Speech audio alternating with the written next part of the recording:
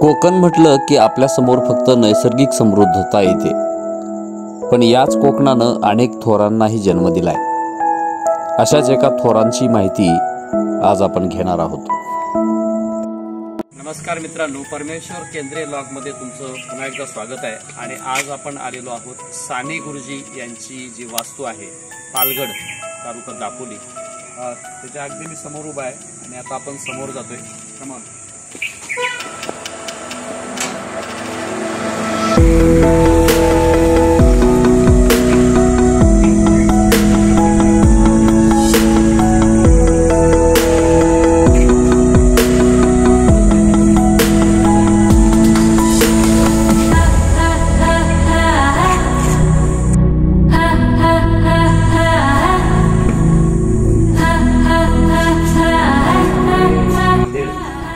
मराठी भाषेतील महान साहित्यिक शिक्षक आणि समाजसेवी पांडुरंग सदाशिव साने. अर्थात साने गुरुजी यांचा जन्म याच घरात चोवीस डिसेंबर अठराशे नव्याण्णव रोजी झाला. आईविषयी अपार करुणा देशाविषयीचं प्रेम आणि मानवतेविषयीची तळमळ या सर्व गोष्टी साने गुरुजींच्या लिखाणातून दिसून येतात. आजचा हा व्लॉग त्यांच्या बाळपणाच्या घरातूनच आपण केलेला आहे.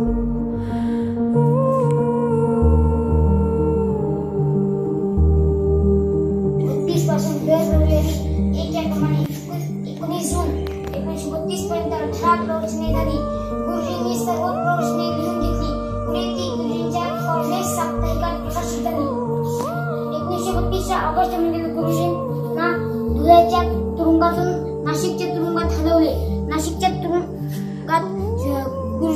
पुष्कळ साहित्य निर्मिती केली. श्यामची आई या पुस्तकातील छत्तीस रात्री गुरुजींनी नाशिकच्या कारावासातच लिहिल्या. आरंभ नऊ फेब्रुवारी एकोणीसशे तेहतीस.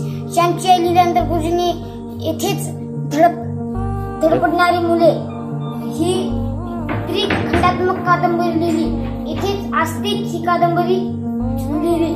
मॉरिस मेटर्निक मेटर्निकच्या नाटकाचा निळा पक्षी हा अनुवाद केला तीन बंधू बापू ही दीर्घकथा लिहिली.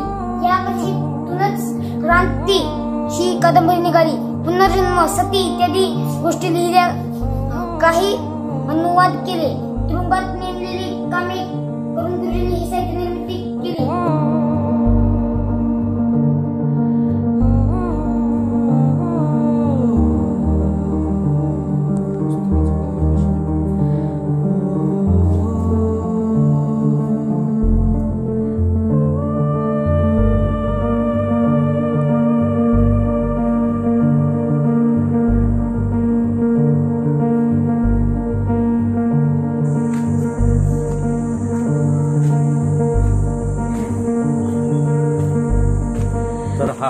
घराच्या पाठीमागचा भाग आहे.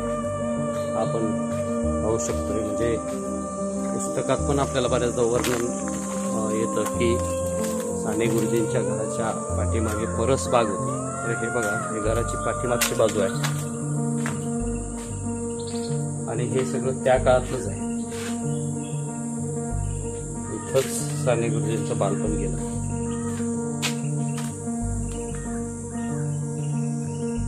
त्या काळात आपल्याला हे दिसते दरवाजा.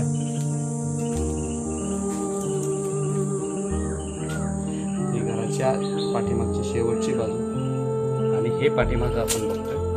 हे इकडे परसबाग आहे. म्हणजे परसबाग तुम्हाला जाऊन दाखवतो मी म्हणून.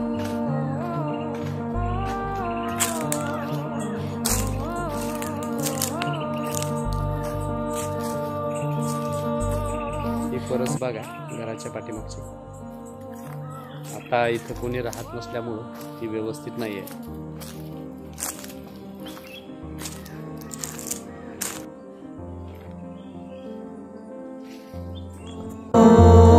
श्यामची आई या पुस्तकातून साने गुरुजींनी बऱ्याचदा त्यांच्या वास्तूचा घराचा त्यांनी पोहलेल्या विहिरीचाही उल्लेख केला खरंच कोकणातलं दापोली तालुक्यातील पालगड या गावातलं हे घर त्यांच्या प्रतिभेची साक्ष देणारं हे घर. आपण जेव्हा इथे प्रवेश करतो तेव्हा ते आपल्याला नक्कीच प्रेरणा देत एवढ्या मोठ्या साहित्यिक लेखक आणि व्यक्ती म्हणून त्यांनी महाराष्ट्राला जो संदेश दिला आहे खरंच अभिमानास्पद आहे. आणि त्यासाठीच त्यांच्या पदस्पर्शाने पावन झालेली ही भूमी आणि हे घर सुद्धा आपल्यासाठी फार महत्वाचं आहे. तर मित्र हो व्हिडिओ कसा वाटला? साने गुरुजींचं घर कसं वाटलं? हे कमेंटमध्ये नक्की कळवा. व्हिडिओला लाईक करा आणि चॅनलला सबस्क्राईब करायला सुद्धा विसरू नका. थँक्यू